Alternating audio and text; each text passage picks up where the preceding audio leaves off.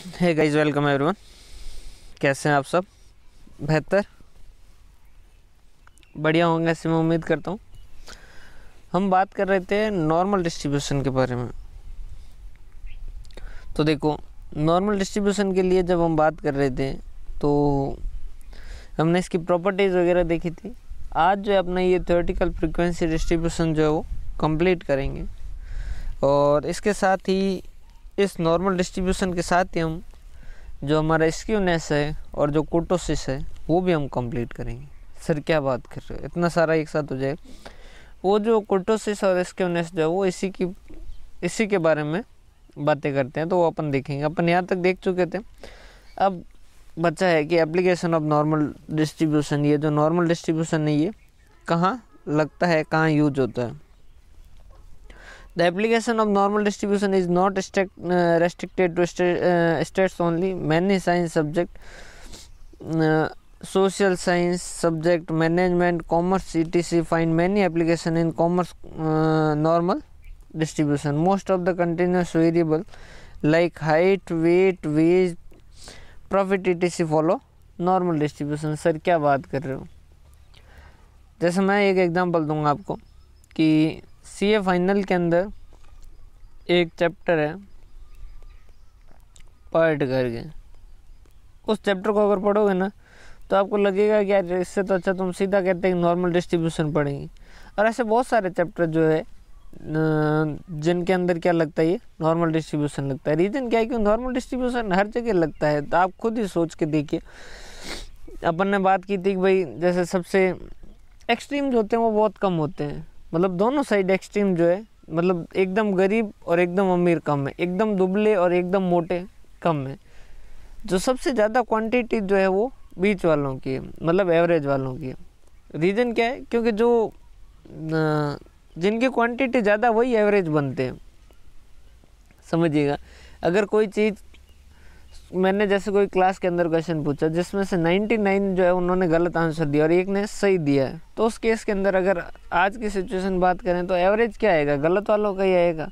और ज़्यादा दुनिया फॉलो किससे करेगी? इसी को करेगी। भाई, वैसे तो अगर अपन जैसे प्रिंसिपल के हिसाब से देखें, या सही तरीके से हिसाब से देखें, सोसाइटी के हिसाब से देखें तो ये जो है नेता जो है वो एकदम ईमानदार होना चाहिए और बढ़िया होना चाहिए पढ़ा लिखा होना चाहिए, सही तरीके से होना चाहिए, सही काम करने वाला होना चाहिए।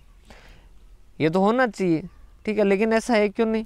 क्यों? क्योंकि normal distribution sir normal distribution कैसे? क्योंकि ज़्यादातर लोग कैसे ज़्यादातर लोग बेईमान है, ज़्यादातर लोग जो है वो चोरी करने में इंटरेस्टेड रहते हैं, मौका मिलते से ही वो कर लेते हैं। तो नेता जो है वो क्या है, एक तरीके से उसको रिप्रेजेंट कर रहा है उसी जनता को। जैसे तो उस केस के अंदर नेता भी कैसा होगा? उसी तरीके का होगा। समझ पा रहे मैं? ज़्यादातर जनता जो है वो अनअवेयर है तो नेता उससे बड़ा अनअवेयर है। समझ पा रहे हैं मत तो ये एक तरीके से हर जगह लगता है। जो एवरेज होता है वही। उसी की चलती है। मेजोरिटी का रूल चलता है तो उस केस के अंदर अगर अपन यहाँ पर बात करें तो ये बहुत सारी जगह लगता है। If the variable under studies does not follow normal distribution a simple transformation of variable in many cases would lead to normal distribution of the changed variable when n the number of trial of binomial distribution is large and p is the probability of the success is moderate neither too large too small then the binomial distribution also tend to normal distribution वो क्या कह रहे हैं मतलब क्या हुआ कि अगर एक्सट्रीम वाली सिचुएशन नहीं था हमारा बाइनोमियल डिस्ट्रीब्यूशन था ठीक है total N number of trial हमने किए ठीक है लेकिन उसमें जो आ, बहुत ज़्यादा एक्सट्रीम सक्सेस के चांसेस कम है एक्सट्रीम जो है फेलियर के चांसेस कम है और ज़्यादा चांसेस जो वो मॉडरेट है तो उस केस के अंदर वो भी अपने आप से क्या हो जाएगा नॉर्मल डिस्ट्रीब्यूशन हो जाएगा। समझ पा रहे हैं कि भाई ज़्यादा फेलियर के चांस भी कम है ज़्यादा सक्सेस के चांस भी कम है। और एवरेज चांस है तो ये वापस ये ऐसा हो जाएगा। तो बाइनोमियल डिस्ट्रीब्यूशन भी आके जाके यहाँ बन सकता है। या Poisson distribution also for large value of the M approach normal distribution और जो ये पॉइजन है, वो भी अगर उसमें भी ज़्यादा करोगे आप क्वांटिटी तो वो अल्टीमेटली क्या हो जाएगा? Normal distribution such transformation become necessary as it is easier to compute probability under the assumption of normal distribution और वो कह रहा है कि इस वजह से क्यों नॉर्मल डिस्ट्रीब्यूशन के एजम्पन के हिसाब से करना आसान नहीं क्यों नॉर्मल डिस्ट्रीब्यूशन ज़्यादा जो डेंसिटी ज़्यादा तो जो करना तो वो कहाँ मानता है? बीच में मानता है क्लियर तो वो ज़्यादा जो कंसिडर करेगा, वो क्या करेगा? बीच के हिसाब से कंसिडर करेगा। अगर वो पेंट बना रहा है जीन्स बना रहा है तो वो ज़्यादा मोटे लोगों को कंसिडर करके नहीं बनाएगा, ज़्यादा पतले लोगों को कंसिडर करके नहीं बनाएगा वो। बीच वाली जो एवरेज जो ज़्यादातर जनता है, उसके हिसाब से करेगा. Clear not only the distribution of discrete random variable the probability distribution of T chi square and F also tend to normal distribution under certain specific condition ये अपने जब टेस्ट पढ़ेंगे, तब आपको और ज़्यादा अच्छे समझ आएगा. In order to infer about the unknown universe we take resource to sampling and inference regarding the universe is made possible only on the basis of normal assumption also the distribution of many sample static approach normal distribution for large sample size समझिएगा ये sir क्या कहना चाहते हैं देखिए अगर आप पढ़ोगे ना मतलब सैम्पलिंग अगर जब पढ़ोगे जैसे जैसे सैंपल साइज़ बड़ा होगा ना वैसे वैसे क्या होगा नॉर्मल डिस्ट्रीब्यूशन है जो आता जाएगा समझिएगा जैसे आपने क्या किया आपने दस लोगों को स्टडी किया, ठीक है? दस में से हो सकता है कि भाई पाँच लोग जो थे वो बहुत ही रिच थे, ठीक है? और दो लोग जो है वो बहुत ही गरीब थे, लेकिन तीन लोग जो है वो क्या होंगे? थे मॉडरेट थे। लेकिन यहीं पर आप सैंपल साइज़ बढ़ा देते हैं। इस दस की जगह एक हज़ार का स्टडी करोगे तो फिर क्या होगा? बेहद अमीर जो लोग हैं, वो कितने हो गए? मान लीजिए सौ हो गए। और ये कितने हो गए? जाएँगे, जैसे मान लीजिए सौ हो गए। आठ सौ ये हो जाएँगे। क्लियर है? और जैसे ही आपने क्या कर दिया, एक करोड़ का एनालिसिस कर दिया, ठीक है? तो और ये हो जाएगा कि भाई यहाँ पर हज़ार ही थे, और यहाँ पर हज़ार ही थे, और बाकी के सारे के सारे नाइन्टी एट थाउज़ेंड यहाँ पर थे। तो जैसे जैसे आप सैंपल साइज़ बढ़ाते जाएँगे आप नॉर्मल डिस्ट्रीब्यूशन की तरफ़ जाएँगे। रीज़न क्या? क्योंकि स्मॉल सैंपल अगर छोटा होगा तो उसमें हो सकता है कोई एक्सेप्शनल आइटम हो जाए। समझ पा रहे मत लेकिन जैसे ही सैंपल बड़ा होगा, वैसे ही एक्सेप्शनल आइटम क्या होते जाएँगे? कम होते जाएँगे। समझ पा रहे हैं कि भाई, आपने जैसे पाँच लोगों को स्टडी किया तो उसमें सोच सकता है कि एक बहुत इंटेलिजेंट निकल जाए। लेकिन अगर आप दो हज़ार लोगों को एग्ज़ाम लोगे तो उसमें नॉर्मली पाँच छः जो है वो बहुत ज़्यादा इंटेलिजेंट निकलेंगे और वो हर जगह पाँच छः ही निकलेंगे। ऐसा नहीं कि एक जगह बहुत ज़्यादा ही एक्सेप्शनल सिचुएशन आ जाए।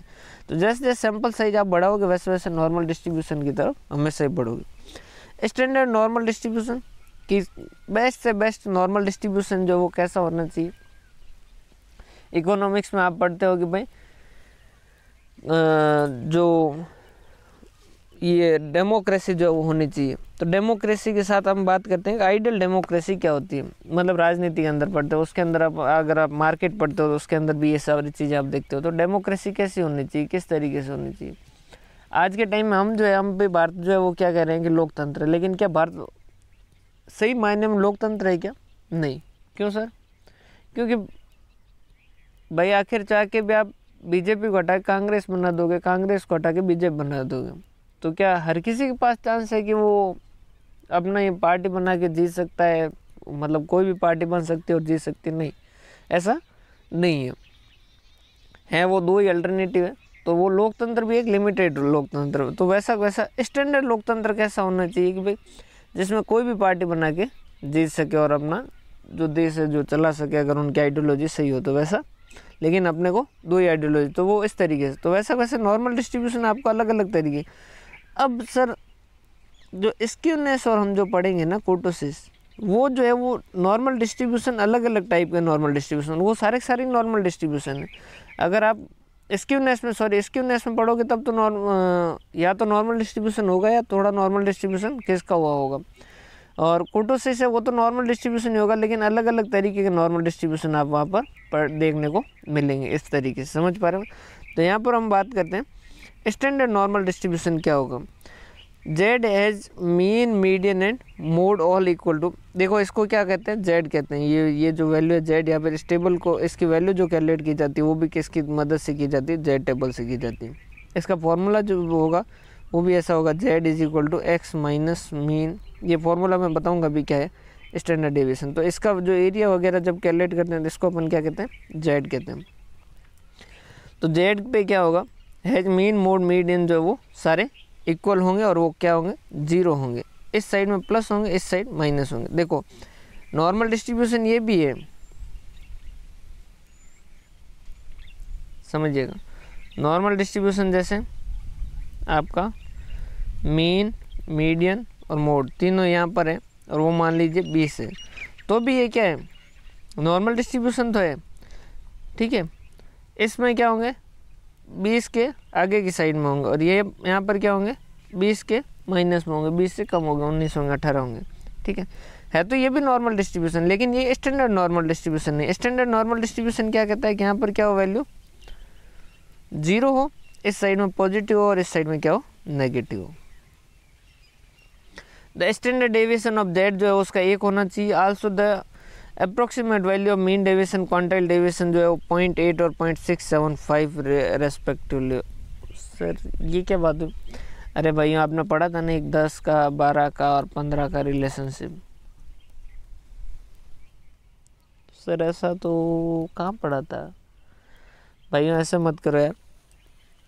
पढ़ते रहिए साथ साथ पढ़ते रहिए, नहीं तो थोड़े टाइम बाद में वाकई गजनी बन जाओगे। तो वो जो है, अपन ने प्रॉपर्टीज़ पढ़ी थी ना वो सारी सारी किस की थी? इस नॉर्मल डिस्ट्रीब्यूशन के हिसाब से थी। The standard normal distribution is symmetrical about Z is equal to zero ये इसके हिसाब सिमेट्रिकल है। अगर ये ऐसा होता है एक साइड में झुका हुआ होता तो उसे अपन असिमेट्री कहते हैं। द टू पॉइंट ऑफ़ जो है inflection of probability curve of standard normal distribution are minus one and plus one ये मतलब माइनस वन से प्लस वन की साइड में जाएँगे और ये जो टू टेल है, वो कभी भी टच नहीं करेंगे। ये लाइन इसके नज़दीक में जाएगी, लेकिन हॉरिजॉन्टल कभी इसको टच नहीं करेगी। ठीक है? ये इस तरीके से इसके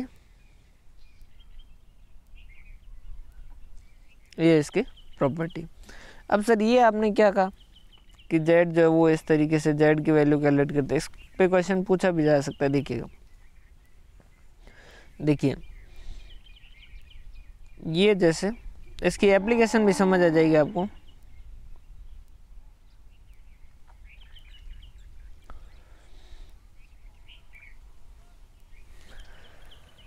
देखिए जैसे आपका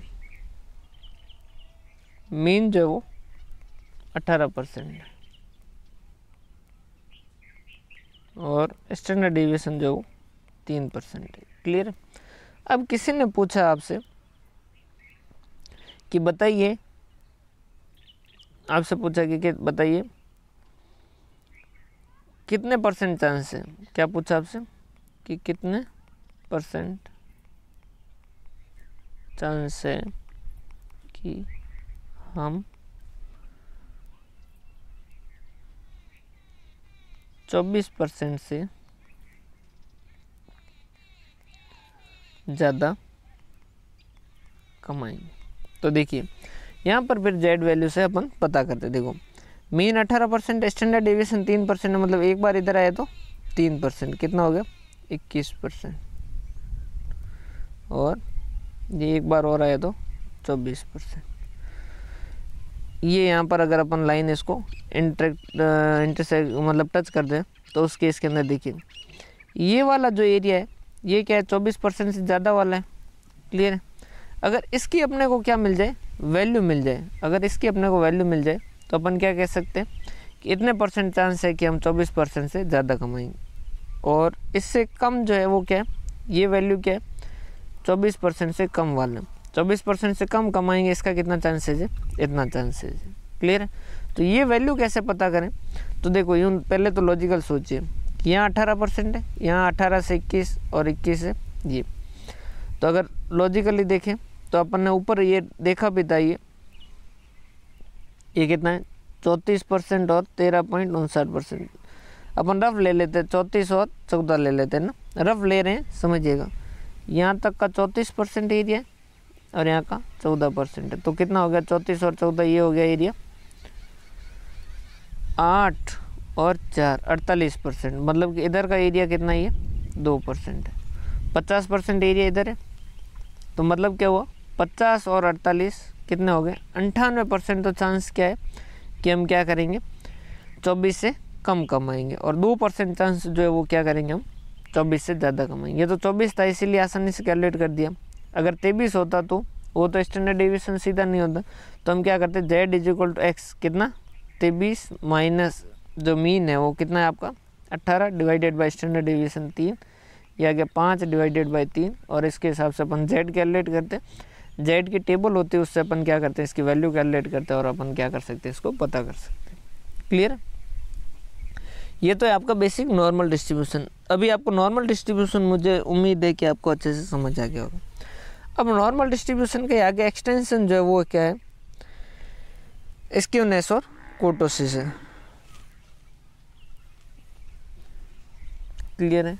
आप भी सोच रहे होंगे, सर, पता नहीं कौन से तबेले से जो है वो क्लासेज ले रहे हैं। शादियाँ बहुत ज़्यादा हैं और इस वजह से गाँव आना पड़ा है और गाँव से ही क्लास ले रहे हैं और यहाँ जो है वो खेत से क्लास ली जा रही है और यहाँ पर इस तरीके से आवाज़ तो गाय, भैंस तो घूम रही है clear measures of skewness and kurtosis पहले अपन यूँ ही समझ लेते हैं, फिर इसको पढ़ तो लेंगे, ये तो थ्योरी है, बाद में देख ही लेंगे क्लियर पहले देखो, दो चीज़ें. एक तो है स्क्यूनेस देखिए, हम जो अल्टीमेटली है वो क्या करना चाहते हैं? हम डाटा को समझना चाहते हैं। मेन समझिएगा कि हमारा मेन ऑब्जेक्टिव क्या था? अभी तक हमने जो पढ़ा वो पूरा का पूरा देख लीजिए। हम मेनली क्या करना चाहते थे? डाटा को समझना चाहते थे। ठीक है? जैसे अपन एक कंपनी का एग्जांपल ले लेते हैं कि एक कंपनी के जो है वो पिछले साल के हमने क्या किए? कुछ डाटा लिए। ठीक है? जैसे कंपनी के प्रॉफिट के कुछ डाटा लिए और उससे अपना अनुमान लगाना चाहते थे कि भाई इस साल अपन कितना कमाएँगे। क्लियर है? तो बहुत सारे सालों के डाटा थे, जैसे 2001 से लेके अपने पास 2020 तक के डाटा थे और अपन ने उनको क्या किया? स्टडी किया। हर साल का अपन ने सेल्स देखा परचेज देखा प्रॉफिट देखा, वगैरह वगैरह, सब कुछ देखा। असेट कितने थे, वगैरह वगैरह कितने थे और अपन प्रॉफिट को स्टडी करना चाहते हैं। और अपन चाहते हैं कि भाई 2021 में क्या कमाएगा 2022 में क्या कमाएगा, ये हम पता करें। तो एक तो हमने क्या किया, इस पूरी को स्टडी करने के लिए हमने क्या किया, जैसे एक साल पाँच परसेंट कमाया, एक साल बीस परसेंट कमाया, एक साल तीस परसेंट कमाया, एक साल पंद्रह परसेंट कमाया, एक साल पच्चीस परसेंट कमाया, इस तरीके से। तो अपन ने कहा कि यार, अब एक साल पाँच परसेंट भी कमा रहा है, एक साल पच्चीस भी परसेंट कमा रहा है तो हम ये तो नहीं कह सकते पच्चीस परसेंट कमाएगा। कभी पाँच परसेंट कमा रहा है हम ये भी नहीं कह सकते कि पाँच परसेंट कमाएगा क्यों? कभी तीस परसेंट भी कमा रहा है। तो हमने क्या किया? पहले तो इसका क्या किया? एवरेज लिया। और मान लीजिए एवरेज आया अपना अट्ठारह परसेंट तो हमने कहा कि अट्ठारह परसेंट कमाएगा। फिर दूसरा क्वेश्चन आया कि क्या अट्ठारह परसेंट पक्का है कि अट्ठारह परसेंट ही कमाएगा? फिर हमने देखा कि नहीं यार, कभी तो तीस पे भी जाता है, कभी पाँच पे भी जाता है। अट्ठारह कोई भरोसे वाली बात तो हंड्रेड परसेंट तो हम नहीं कह सकते। ये क्या एक तरीके से फ्रीक्वेंसी है? समझ पा रहे बात? अब इस अट्ठारह परसेंट पे अपने को भरोसा नहीं तो अपन ने क्या किया? भरोसे के लिए अपन ने क्या किया? डिस्पर्सन जो है वो देखा कि भाई ये अट्ठारह परसेंट से इधर और इधर कितना जा सकता है। क्लियर ऐसे तो उसका हाँ है, लेकिन हो सकता है हाँ से ना पे भी चला जाए, ठीक है? उस तरीके की बातें हैं तो अट्ठारह है, ठीक है? लेकिन अट्ठारह से इधर भी जा सकता है और उधर भी जा सकता है। तो ये हमने डिस्पर्सन वगैरह से अपन और इसकी स्टडी की।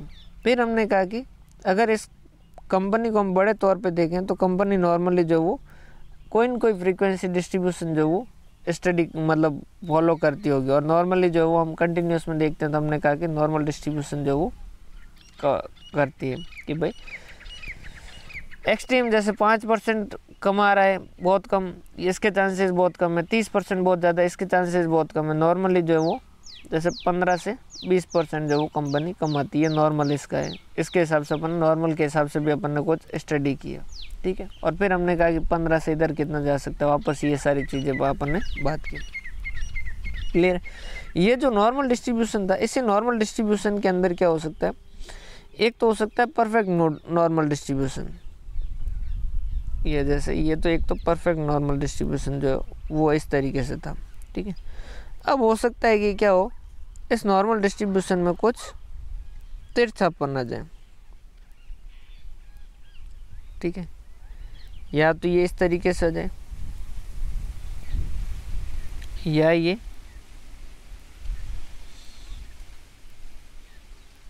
इस तरीके से आ जाए। क्लियर है? तो ये तो देखो, ये तो परफेक्ट है। ठीक है? इसे तो अपन क्या कह रहे थे? सिमेट्रिक कह रहे थे।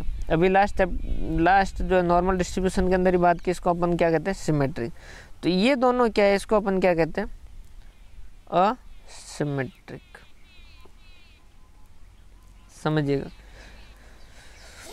हिंदी में लिख देता हूँ ताकि आपको और अच्छे समझ आए। सिमेट्रिक मतलब सुडोल है ये। ठीक है? और ये क्या है? बेढंगा। ठीक है? मतलब या तो इधर इधर है या या तो एक साइड के अंदर, या तो लेफ़्ट साइड में, या राइट साइड के अंदर, कहीं ना कहीं साइड में, किसी न किसी साइड के अंदर ज़्यादा फैला हुआ है। एक तो भाई परफेक्ट बॉडी शेप है, ठीक है? और एक जो है वो, जैसे किसी के जो है वो, एक हाथ जो है वो, मान लीजिए कि उसकी साइज़ जो ज़्यादा लंबी है और एक हाथ की साइज़ जो है वो कम है, या फिर एक साइड पेट जो वो एक साइड से मोटा पा एक साइड से कम मोटा पा इस तरीके से क्लियर है? तो ये बेढंगा के अंदर आ जाता है क्लियर है? इनको अपन क्या करते हैं? इस असिमेट्रिक को ही हम क्या कहते हैं? स्क्यूड इसको हम क्या कहते हैं? स्क्यूड अगर हिंदी में इसका देखोगे तो इसको क्या कहते हैं? तिरछापन. क्या ये? तिरछापन कि भाई एक साइड के अंदर तिरछा हो रखा है. क्लियर है? अब इसको अपन क्या करते हैं? इसी नॉर्मल डिस्ट्रीब्यूशन को स्टडी करते हैं कि क्या ये स्क्यूड है या नहीं है. क्लियर है? सर एक तो ये हो गया स्क्यूड है या नहीं है? ये तो अपन ने स्टडी ऑफ़ स्क्यूनेस होगा. फिर आप एक तो और वर्ड यूज़ कर रहे हो कोटोसिस ये क्या है समझिएगा। अब देखिएगा। अलग अलग नॉर्मल डिस्ट्रीब्यूशन बताता हूँ। बताइएगा कि क्या ये नॉर्मल डिस्ट्रीब्यूशन है या नहीं।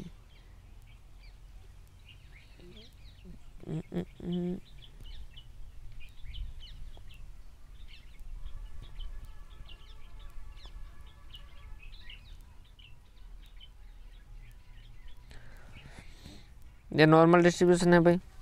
हाँ सर नॉर्मल डिस्ट्रीब्यूशन है। ठीक है।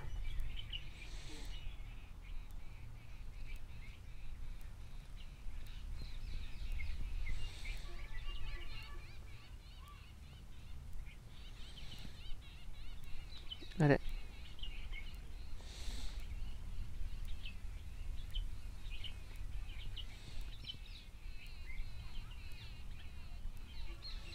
ये भी नॉर्मल डिस्ट्रीब्यूशन है।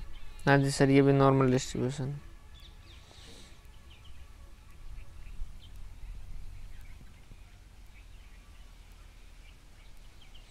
ये भी नॉर्मल डिस्ट्रीब्यूशन हाँ। नॉर्मल डिस्ट्रीब्यूशन समझिएगा। भाई नॉर्मल डिस्ट्रीब्यूशन क्या कहता है? दोनों लाइनें इंटरसेक्ट नहीं करे, नहीं कर रहा है। बीच में सबसे ज़्यादा है, बीच में सबसे ज़्यादा है। क्लियर है? तो ये सारे सारे लेकिन आप खुद डायग्राम देख के बताइए, क्या ये सारे एक जैसे है क्या? क्या ये ये और ये सारे एक जैसे है क्या? नहीं। इसके अंदर अगर अपन बात करें तो इसके अंदर क्या है? बीच में सब जो है वो सेंटर के अंदर क्या है? जो वैल्यू है वो ज़्यादा है, ठीक है? और इसके अंदर सेंटर में वैल्यू मॉडरेट है, नॉर्मल है। और इसमें क्या है? सेंटर में वैल्यू कम है। लेकिन है तीनों के तीनों नॉर्मल डिस्ट्रीब्यूशन। तो ये इसकी पीक इसकी ऊंचाई और इसकी स्टडी पीक जो है वो उसकी ऊंचाई और इसका फैलाव। जो इसकी स्टडी जो है वो कौन करता है? कोटोसिस। तो कोटोसिस बताता है कि हाँ कोटोसिस कहता है कि भाई हाँ है नॉर्मल डिस्ट्रीब्यूशन तुम्हारा। बेशक है, मैं कोई मना नहीं कर रहा हूँ उसमें। कोई भी तरीके का मैं नहीं कह रहा कि भाई ये है नॉर्मल डिस्ट्रीब्यूशन है या नहीं, ऐसा कुछ भी नहीं कह रहा। मैं सिर्फ़ ये कह रहा हूँ कि ये जो नॉर्मल डिस्ट्रीब्यूशन है, ये कैसा है? ये ज़्यादा पीक वाला है और ज़्यादा वैल्यू जो वो सारी बीच में ऐसा है, या ये उससे कम पीक वाला नॉर्मल वाला है, या फिर ये ज़्यादा फैला हुआ है, समझिएगा। आपको एक एग्जांपल समझा देता हूँ। देखो, दो कंट्री है। एक कंट्री जो है उसके अंदर क्या है?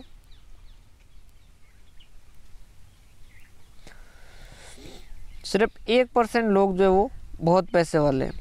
और एक परसेंट लोग जो वो बहुत गरीब है। बाकी नॉर्मली सब मिडिल क्लास है।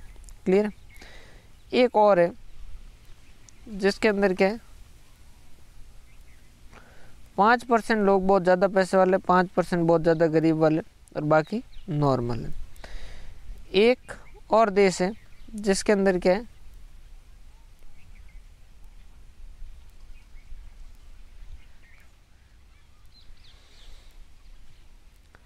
बीस परसेंट बहुत ज़्यादा अमीर है, बीस परसेंट बहुत ज़्यादा गरीब है और बाकी एवरेज वाले कितने हो गए?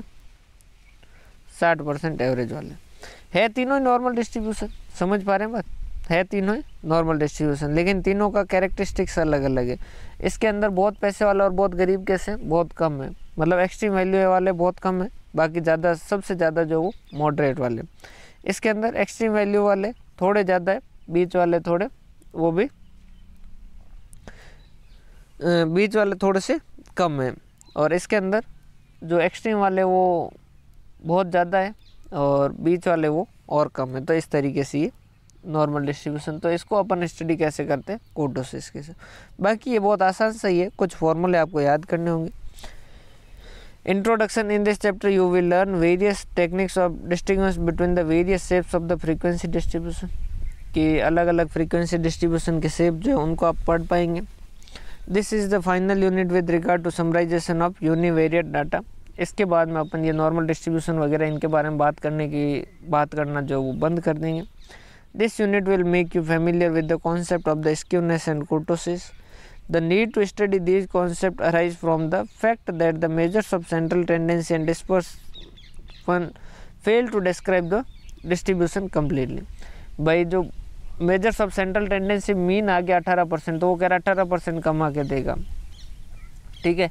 और स्टैंडर्ड डेविएशन तीन परसेंट, उसने कहा तीन परसेंट इधर और उधर होगा। लेकिन अपने को पूरा फ्रीक्वेंसी डिस्ट्रीब्यूशन समझ आया क्या उससे? नहीं, वो नहीं आएगा कि भाई एक्सट्रीम वैल्यू वाले कितने हैं, ज़्यादातर फ्रीक्वेंसी जो वो किस तरीके से है, वो सारा पूरा समझ नहीं आएगा तो पूरा किसके हिसाब से समझ आएगा? It is possible to have frequency distribution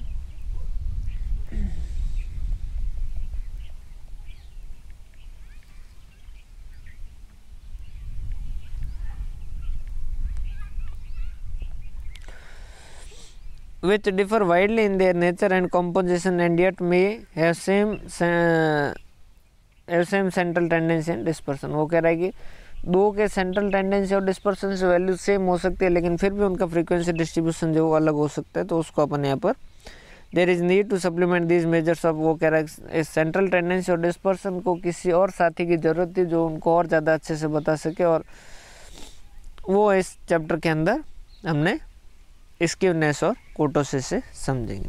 पहले स्क्यूनेस की बात करें the skewness of distribution is defined as the lack of symmetry symmetry को आप हिंदी में अगर लिखे तो मतलब सही सेप ठीक है? सही तरीके का जो सेप है, उसकी कितनी कमी है? In a symmetrical distribution the mean mode median and mode are equal to each other and the ordinate mean divide the distribution into two equal part अपन ने जस्ट अभी नॉर्मल डिस्ट्रीब्यूशन में यही पढ़ा था कि नॉर्मल डिस्ट्रीब्यूशन होगा तो उसमें क्या होगा? वो सिमेट्रिकल डिस्ट्रीब्यूशन होगा, उसमें मीन मोड और मीडियम तीनों जो है वो साथ होंगे। और मीन मोड और मीडियम जो है वो एक दूसरे को ये क्या करते हैं? पूरे नॉर्मल डिस्ट्रीब्यूशन को क्या करते हैं? दो हिस्सों में बांट देते हैं। क्लियर ये इस तरीके से अपन ने बात की थी। That one part of the mirror image of the other एक जो है वो क्या होगा? दूसरे का आधा पार्ट होगा। सीता, गीता, राम, श्याम वैसा होगा। Clear if some observation of very high magnitude are added to such a distribution it's right tail get affect देखिए, ये जो था, ये इस तरीके से नॉर्मल डिस्ट्रीब्यूशन था, ठीक है? अब इसके अंदर, इस साइड में जैसे बहुत अमीर लोग थे, यहाँ पर बहुत गरीब लोग थे। अब अमीर लोग थे, उनके अंदर क्या होगा? एकदम से कुछ और जो है वो ज़्यादा जुड़ गए। जैसे ही उसके अंदर और ज़्यादा जुड़ेंगे तो फिर ये क्या होगा? सेप जो वो कैसा होगा? ये धीरे से राइट साइड के अंदर थोड़ा सा मूव हो जाएगा। क्लियर समझ पा रहे बात? वैसे वैसे अगर इसी के अंदर बहुत गरीब लोग जो है वो जोड़ दिए जाए तो फिर ये क्या हो जाएगा? इधर ज़्यादा हो जाएगा और उधर क्या हो जाएगा? कम हो जाएगा। क्लियर है? ये नॉर्मल डिस्ट्रीब्यूशन था, लेकिन इसमें अब किसको जोड़ा जाता है, उसके ऊपर डिपेंड करता है। These observation are also known as extreme observation बहुत ज़्यादा अमीर या बहुत ज़्यादा गरीब है, उनको अपन क्या कहते हैं एक्सट्रीम ऑब्जर्वेशन कहते हैं। The presence of the extreme observation on the right hand side of the distribution makes the positive skewed अगर ये राइट साइड में जुड़ जाए तो उसे पॉजिटिव स्क्यूड कहते हैं। तीन एवरेज होते हैं मीन मीडियन और mode will no longer be equal अब तीनों इक्वल नहीं रहेंगे अलग अलग हो जाएँगे। वी सेल फैक्ट हैव यहाँ से याद रखिएगा। मीन जो वो ज़्यादा हो जाएगा मीडियन से और मीडियन जो ज़्यादा होगा मोड से वैन वो कब होगा? जब वो पॉजिटिवली स्क्यूड होगा। और उसका जस्ट अपोजिट क्या कह रहा है? एक्सट्रीम ऑब्जर्वेशन अगर लेफ़्ट हैंड साइड के अंदर जोड़ देंगे तो क्या होगा? रिलेशनशिप बिटवीन मीन जो वो सबसे कम हो जाएगा, उससे बड़ा मीडियन हो जाएगा और उससे बड़ा मोड हो जाएगा। और उससे अपन क्या कहेंगे?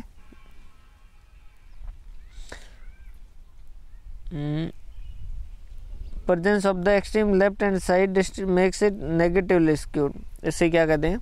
नेगेटिवली स्क्यूड कहते हैं। Clear The direction and extent of the skewed can be measured by the various may we shall discuss four measures of skewness in this chapter.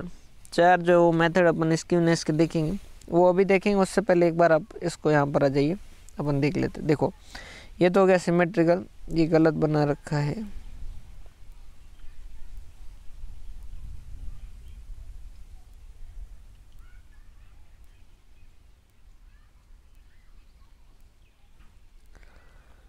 ये कभी इंटरसेक्ट एक सेकेंड है ना?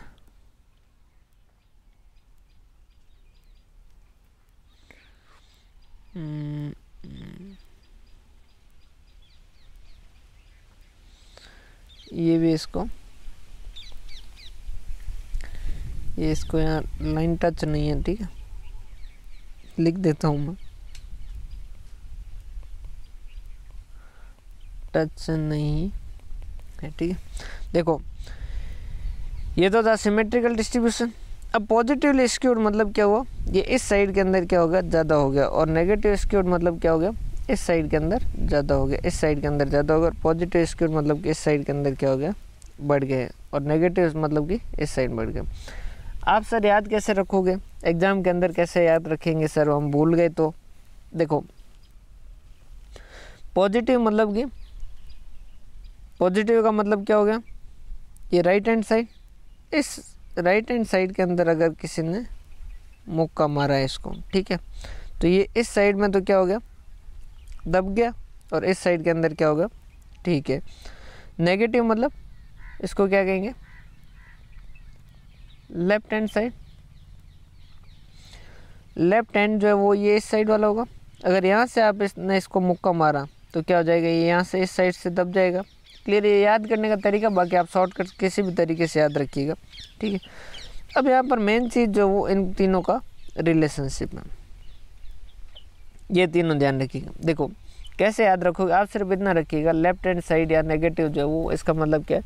कि लेफ़्ट हैंड साइड से मुक्का मारा और राइट हैंड साइड मतलब कि पॉजिटिव स्क्यूड मतलब राइट हैंड साइड से मुक्का मारा मतलब उस साइड से राइट हैंड साइड से दबा हुआ। क्लियर पॉजिटिव स्क्यूड मतलब कि राइट हैंड साइड और राइट हैंड साइड मतलब कि राइट हैंड साइड से दबा हुआ। लेफ़्ट हैंड साइड मतलब कि लेफ़्ट हैंड साइड से दबा हुआ है, उसे नेगेटिव कहते हैं। क्लियर मोड तो फिक्स है। मोड हमेशा क्या होगा? जहाँ सबसे ज़्यादा फ्रीक्वेंसी वो मोड है तो ये मोड तो यहाँ पर फिक्स रहेगा। क्लियर है? मोड के अंदर कोई भी दिक्कत वाली बात नहीं। और मीडियन जो है वो क्या है? उसको ऑब्जर्वेशन से मतलब नहीं है। उसको तो नंबर ऑफ़ ऑब्जर्वेशन से मतलब मतलब है कि जो बीच में खड़ा है, वही क्या होगा? मीडियन होगा। उससे कोई फ़र्क नहीं पड़ता कि भाई जैसे पाँच, दस और पंद्रह के अंदर क्या होगा? मीडियन जो वो तीसरे नंबर पे सॉरी दूसरे नंबर पे दस है तो दस होगा। अब पाँच, दस और दो लाख है तो भी क्या होगा? मीडियन क्या होगा? दस का दस ही होगा। और पाँच, दस और पाँच करोड़ है तो भी क्या होगा? दस का दस ही होगा। सेकंड नंबर पे जो खड़ा है वो ही आएगा इसमें तो। थर्ड नंबर जो है, वो ज़्यादा एक्सट्रीम बहुत ज़्यादा हो जाए तो भी उसको कोई खास फ़र्क नहीं पड़ता। क्लियर है?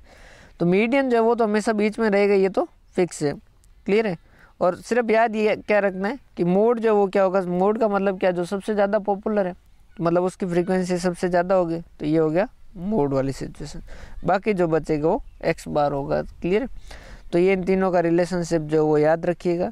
क्वेश्चन सीधा पूछा जा सकता है कि पॉजिटिवली स्क्यूड है तो उसके अंदर बताइए कि मोड की पॉजिटिव स्क्यूड है, और बताइए उसके अंदर क्या होगा.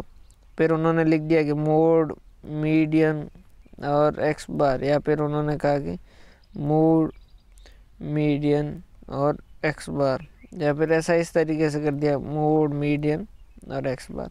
कि अब बताइए इसमें से सही कौन सा होगा? तो ये चीज़ आपको ध्यान होनी चाहिए क्लियर अब जो है ये झुकाव, ये कितना दबा हुआ है, इसको कौन कैलकुलेट करेगा और कैसे कैलकुलेट करेगा? उसके लिए हम क्या करते हैं? स्क्यूनेस को कैलकुलेट करते हैं, जिसके अंदर ये चार तरीके हैं। फोर मेजर स्क्यूनेस जो है वो अपन देखेंगे।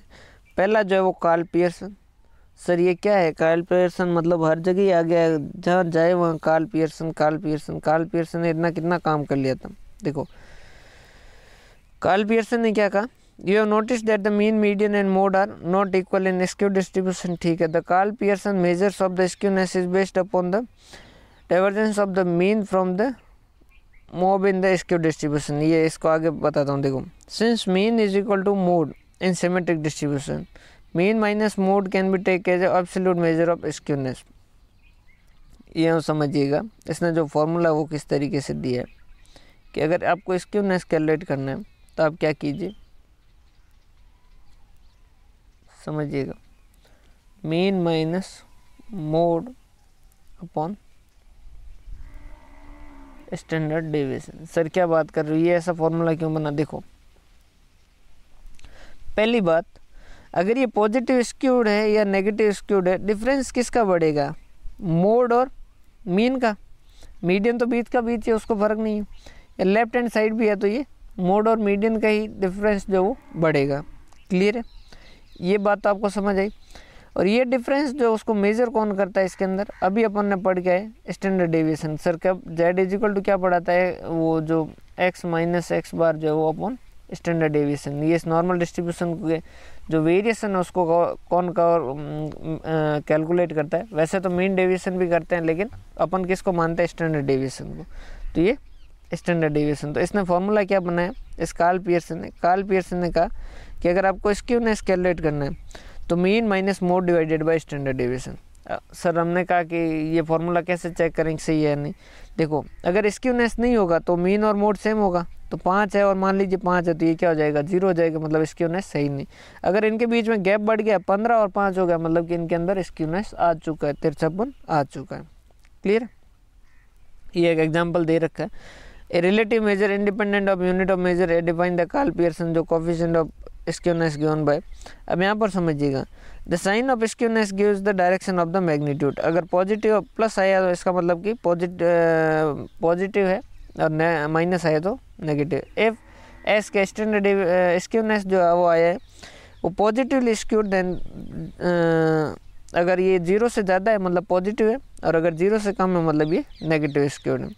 So far we have been share the S K is the strategically uh, dependent upon the mode. If mode is not defined for the distribution we cannot find sk मतलब वो क्या कह रहा है कि भाई मोड पता होना चाहिए मोड नहीं होगा पता तो हम इस क्या नहीं कर पाएँगे इसको कैलकुलेट नहीं कर पाएँगे। But empirical relationship between mean median and mode states that the moderate symmetrical distribution we can जो है वो mean minus mode is equal to three mean minus median ये जो है रिलेशनशिप बहुत ध्यान से पढ़िएगा ये कार्ल पियर्सन ने जो दिया था, ये रिलेशनशिप बहुत ही इंपॉर्टेंट है।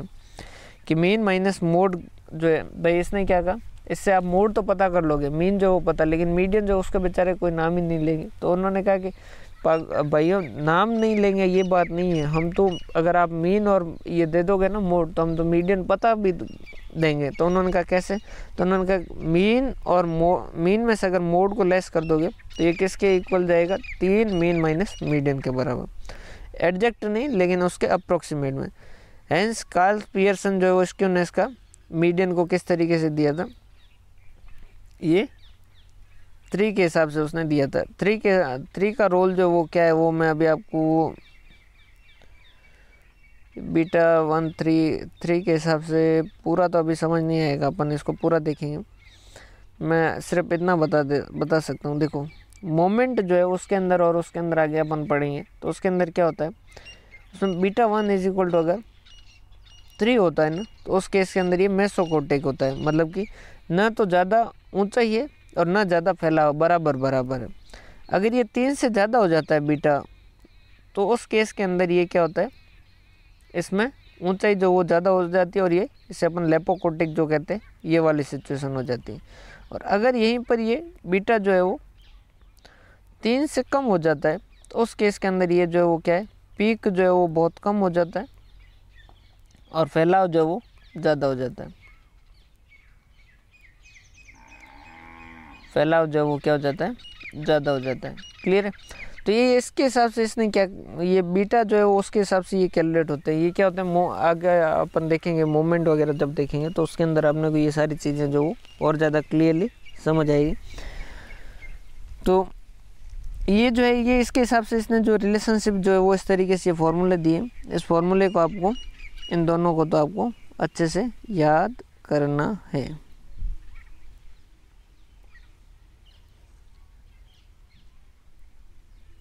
क्लियर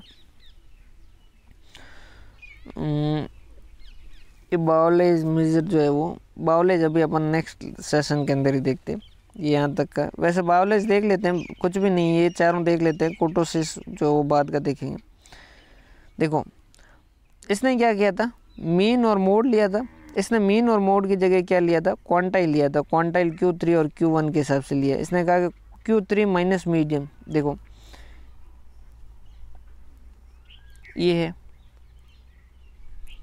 मान लीजिए यहाँ क्यू वन है, यहाँ क्यू टू है, ये क्यू वन ये क्यू टू और ये क्यू थ्री इसने कहा कैलकुलेट करना आप क्यू थ्री माइनस मीडियन कर दो। क्यू टू जो है वो हमेशा क्या होगा, किसके बराबर होगा?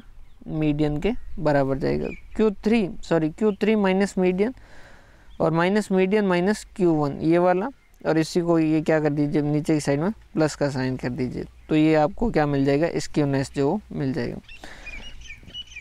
सेम वैसा वैसा देखो। इसने क्या किया? क्वांटाइल लिया।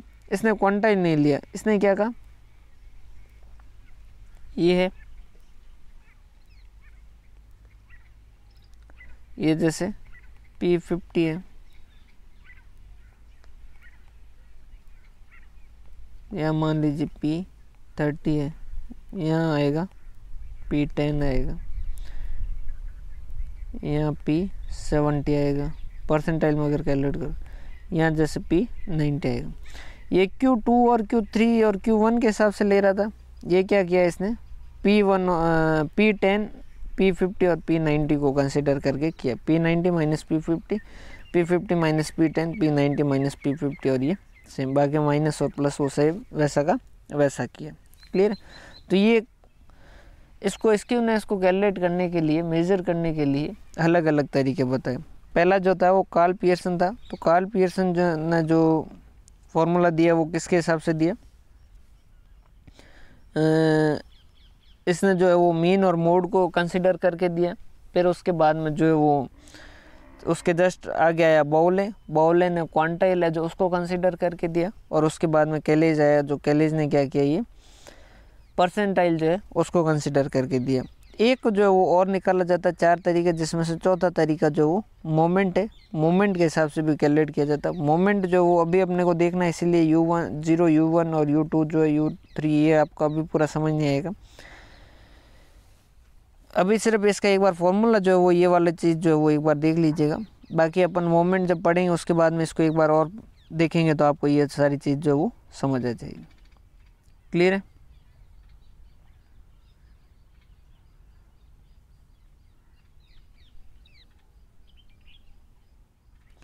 और ये जो है वो तो ये हो गया स्क्यूनेस का। और यहीं पर कोटोसिस जो है वो कोटोसिस अगर यहाँ पर पीक जो है वो ज़्यादा है तो उसके हम क्या कहते हैं? लेपोकोटिक। अगर ये मीडियम है तो उससे हम मेसोकोटिक। और ये पीक जो वो बहुत छोटा और फैलाव ज़्यादा है तो उससे हम क्या कहेंगे? प्लाटोकोटिक। ठीक है? तो यहाँ पर हम देख लेते हैं। पीक और पहला पीक जो है वो इसमें क्या होगा? लेपो में। ज़्यादा और फैलाव क्या होगा? कम होगा। यहाँ पर क्या होगा? पीक जो है वो क्या होगा? मॉडरेट मतलब कि ना ज़्यादा, ना कम। और यहाँ पर क्या होगा? पीक जो है वो क्या होगा? कम होगा और फैलाव जो है वो ज़्यादा होगा। क्लियर ये चीज़ याद रखिएगा। इसको जो है वो मेज़र कैसे करते हैं? बीटा टू से जो है वो मेज़र किया जाता है। ये बीटा वन लिख दिया था मैंने।